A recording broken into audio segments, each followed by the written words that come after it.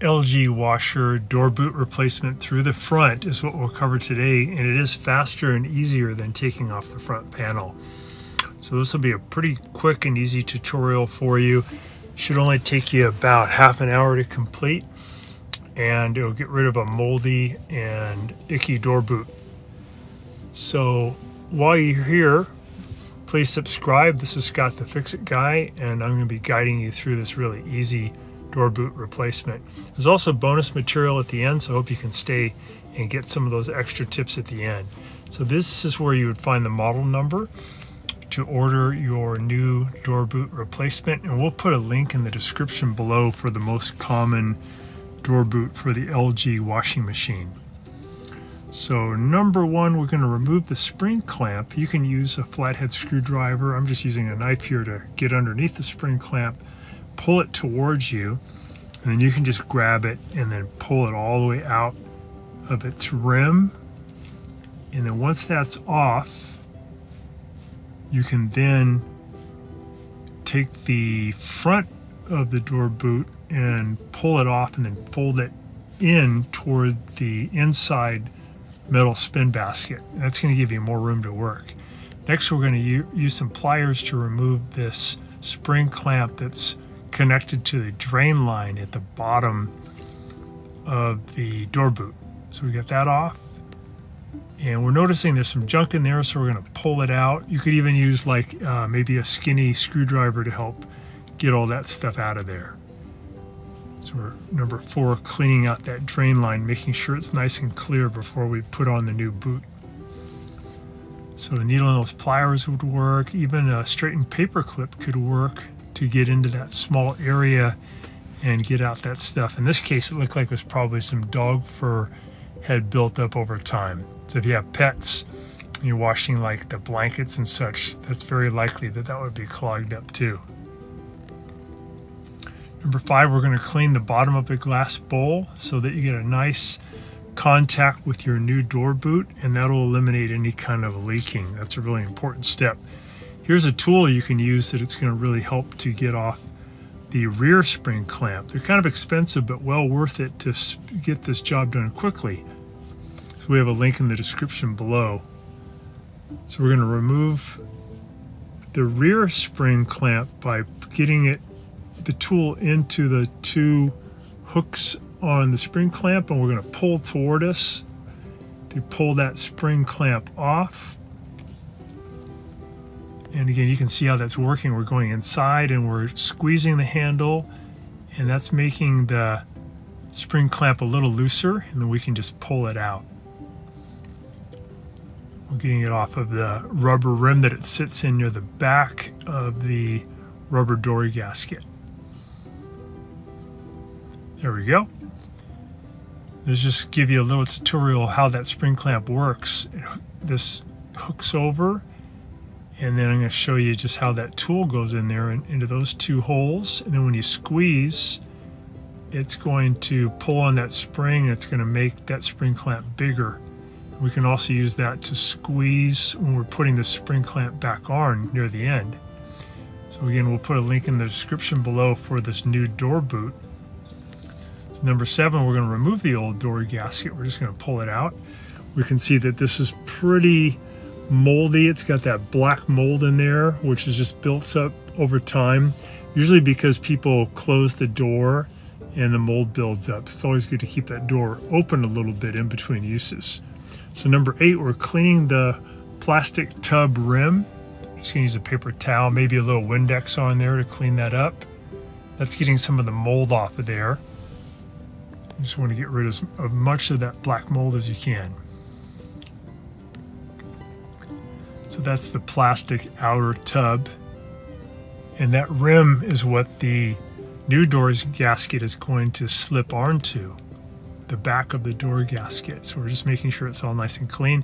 I'm grabbing this um, metal spin basket and pulling on it and I can see that that's really tight. That's a good, that's a good uh, rear um, bearing is not, is not worn out. So there's the next step. We're putting some liquid detergent into this back rim of the door boot and that's going to allow that back rim to easily be put onto the plastic rim of the tub. This is a really important step. It makes it a lot easier to get the back of that door boot secured onto the rim. So now we're lining up the top of the door gasket and we're going to push it into the 12 o'clock position there at the top. We're going to push in with our thumbs until we feel it click into position. And now we're going to make sure we get the drain holes of the bottom lined up at the six o'clock position. We're going to use our thumbs to, well, first we're going to go ahead and push in with our thumbs to get the back rubber rim of the door gasket to click into the plastic rim of the tub because we want to make sure that's really clicked in all the way around. We're just using our thumbs to push in and you'll be able to feel it. It'll, it'll actually feel like almost like a click feel when it locks in. And then once you do that, you go down another couple inches and just keep pushing in all the way around. Really helps to push in the front of the door boot into the spin basket. And that's just gonna make it a little bit easier to see what you're doing.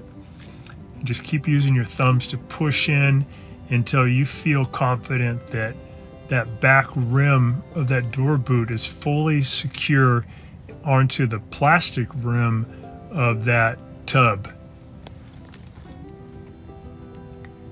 This is where you want to take your time, just keep going around. I like to start at 12 o'clock and then go out toward 1 o'clock and then go out toward 11 o'clock and then out toward 3 o'clock, then out toward 9 o'clock and just keep going around and around until I get to 6 o'clock at the bottom. I know it's really in there nice and tight. So double check that it's fully locked onto the tub. And next thing is we can put on the rear spring clamp. So again, I'm just checking everything, making sure it's in there. And I'm gonna make sure that this drain hole lines up with that drain I'm to put on the spring clamp now onto the bottom of that hose. I'm not going to connect the hose yet. I'm just putting it onto the bottom of the hose. Squeeze in with these special pliers. Any kind of pliers will work, but these are special pliers that make it a little bit easier.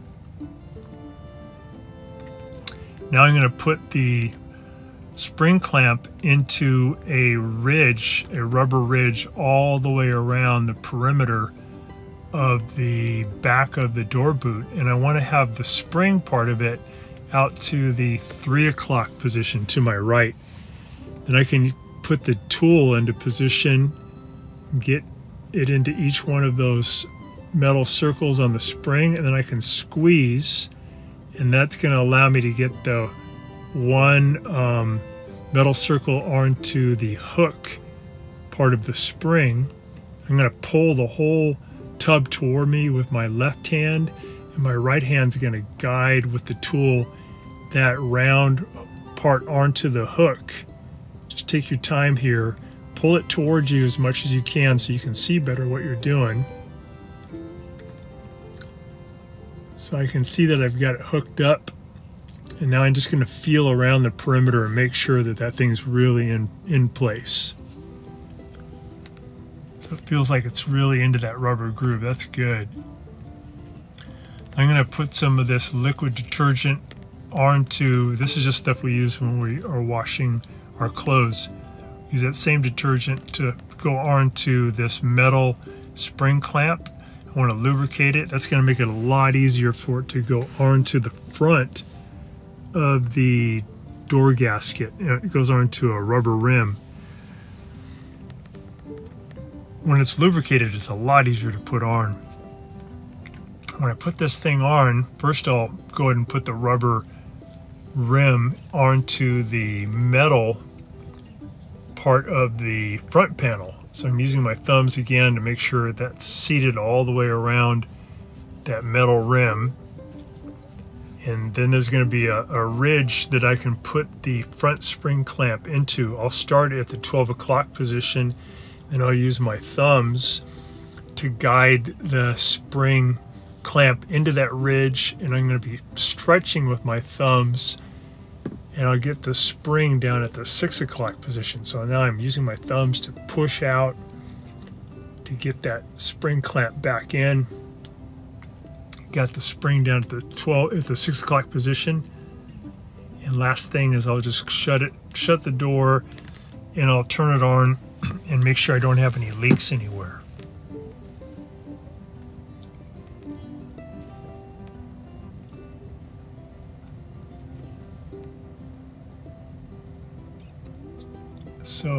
Filled it, it's spinning, no leaks, that looks really good. There's a little bit of bonus material. This is just indicating how sometimes we can get a buildup of um, film on this lint filter and if you use a nice old toothbrush you can knock off all that and get nice and clean and clear. Sometimes this is caused by using the dryer lint sheets which we recommend not using these things. So you want to get it nice and clean, put that back in. Another bit of the bonus material, we want to clean the moisture sensor. This can get a kind of a waxy buildup on it too.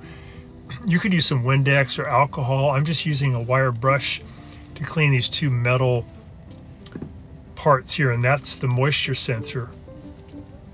Those metal bars, you want to get them as shiny as you can.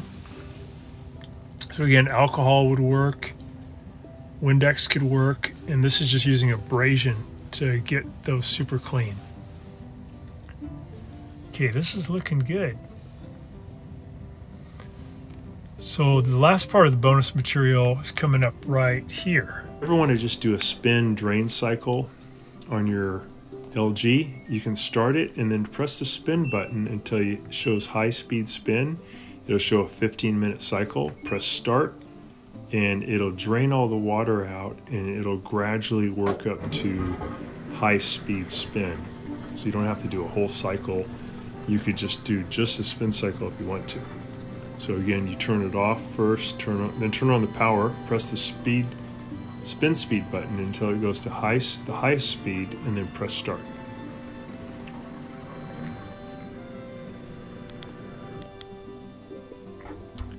We can see it's doing the spin cycle and it's gradually counting down. Thanks so much for watching our video today. I hope that this video has saved you some time and money. And if so, could you please press down in the video description below the donation link and send us a donation so we can keep this service going. Thanks again. And if you have any questions about this repair, could you contact me at scottthefixitguy at yahoo.com. So thanks again for watching and we'll see you on the next one.